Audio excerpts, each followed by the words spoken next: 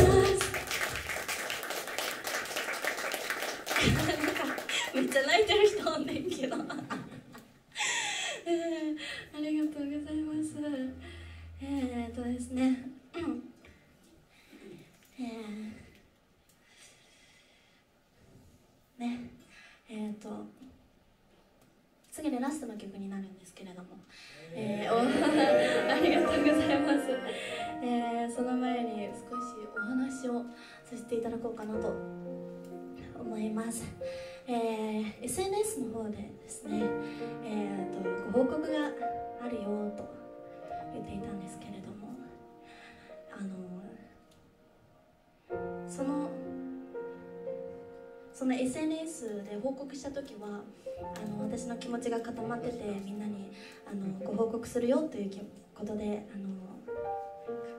お伝えしたんですけれども、えー、実はですねあのライブの本当直前1分前までどうするか悩んでおりましてみんなにあの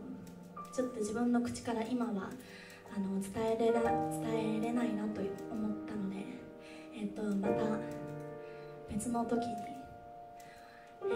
ー、皆さんの目の前でお伝えできたらいいなと思っております、えー、私がですね、まあ、あの小学校3年生の時から歌を歌がずっと大好きで続けてきたんですけれども、まあ、この活動をしているとまあ嬉しいこともたくさんありましたしたくさんの出会いもあっ悲しいこととかもう何クソと思う気持ちもたくさん経験させていただきました、えー、まあそんな中でですね自分が時々何を好きなのか何になりたいのかっていうことが分からなくなってしまった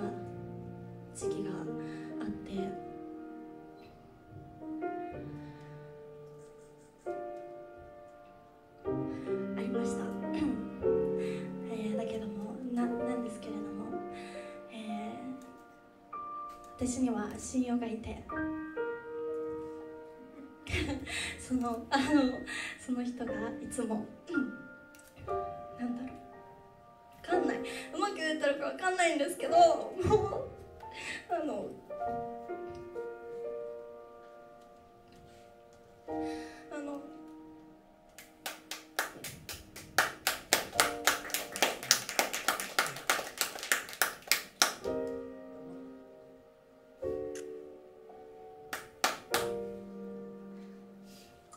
あの 自分の将来の夢好きなものっていうのがその親友ちゃんのおかげで、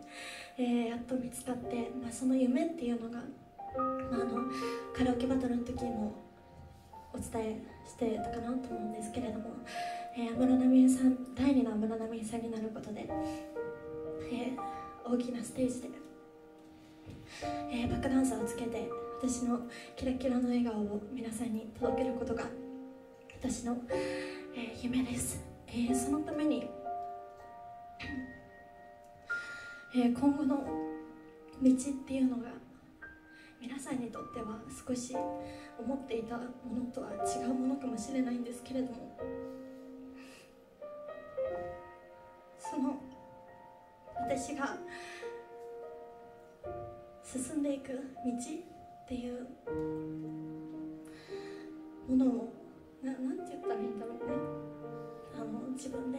一歩一歩正解にしていくじゃないけど。あのその夢に近づける近づけるためにもっともっと頑張っていきたいなと思っております。わ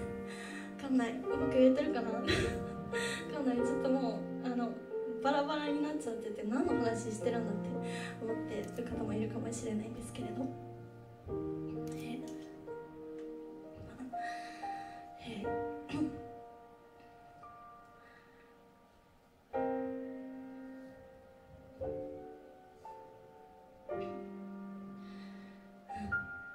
いみんなに笑顔を届けられるように